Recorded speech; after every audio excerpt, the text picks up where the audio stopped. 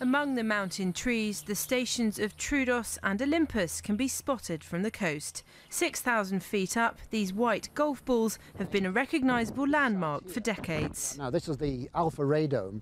This was the, a, a large air defence radar um, and a search and rescue radar that was actually um, looked after Signals Unit. The primary role of Olympus and Troodos has always been to enable worldwide communications, making it as strategically important now as it ever was. We are quite busy on a day-to-day basis. You know, the, this place is, it runs a 24-hour operation here, so it is it is a busy place, and it's you know a strategically important place, and it's a vital place for Her Majesty's government and for the headquarters.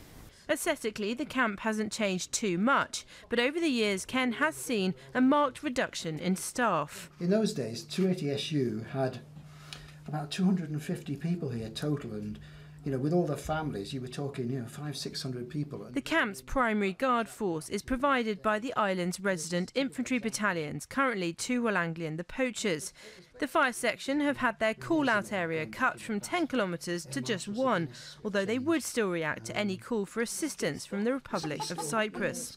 Although no one lives on the camp anymore, most travel up from Episcopi or Akrotiri every day. The mess is open seven days a week. So normally our feeding strength is 25, but we've got a lot of visitors coming up. We've got a lot of visitors coming up in the last few months. While the mess can sleep 40 people, there are also 12 publicly funded chalets that are available to entitled personnel all year round. Okay, I will show you the chalet.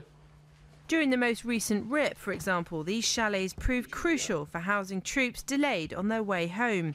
In the summer, they also offer some respite from the blazing temperatures at sea level, while in the winter they act as your very own alpine chalet, with skiing right on the doorstep